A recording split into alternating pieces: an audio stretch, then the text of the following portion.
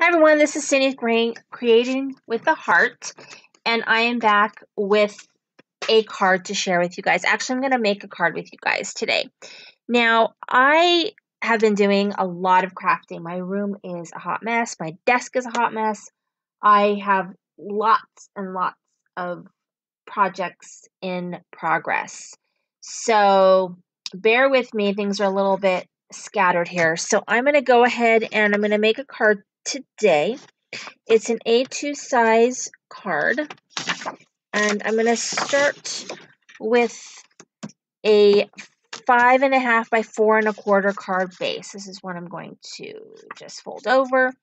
Now, I probably two years ago, I bought the Neenah White Solar White um, cardstock from Amazon, the eight and a half by 11, and I took it to Office Depot and had them cut it for me. So they cut it to fit two different sizes of cards, both A2 size. So this way, and then um, the front fold as well.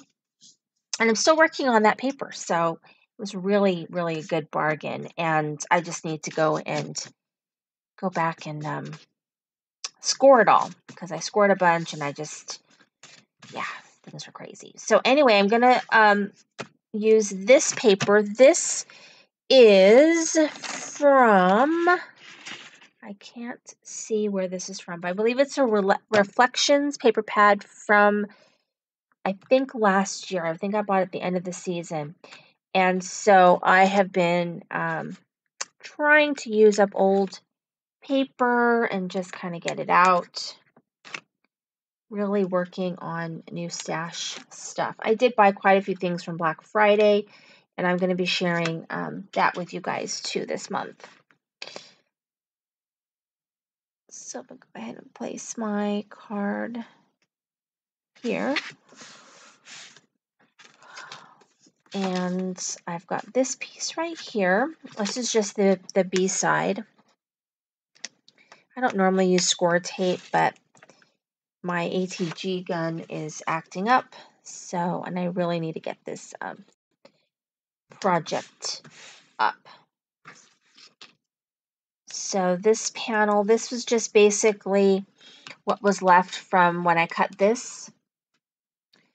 And this is like a red strip of paper that I had from my last project. You know, just use what you have, and it just seemed to work really well. So this is my cut. And this is from the Hello Kitty holiday cartridge. I cut it at three and three quarters. Um, I think it's a pretty good size um, for this project and just adorable. So I had a little bit of trouble with the cut on the bow. So um, in one of my earlier videos, I talk about tips for bad cuts.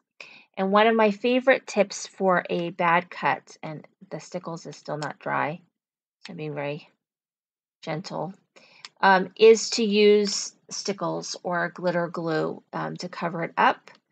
Um, that's probably the best tip, I think. It works the best. I mean, because glitter just makes everything look great. And you honestly can't even tell once I put the glitter glue on there that I had a problem with that cut. Because sometimes it, you know, it happens. Uh, let's see, I can't get this one off. Okay, stuck to my finger now. All right. Ooh. Trying to get this one on here without getting glitter glue on me. Okay, so it's still wet. I want to screw that up. Okay, so yeah, so you can't even really tell the glitter glue really helps cover up that bad cut. So there we go. And then here is my sentiment. This is from Papertrey Ink. Um, I just grabbed a couple of Christmas sentiment stamps that I had that were strictly sentiments and just threw them on my table. So when I needed to grab a quick one, I would just look for pretty much the right size, honestly. So this is also on foam.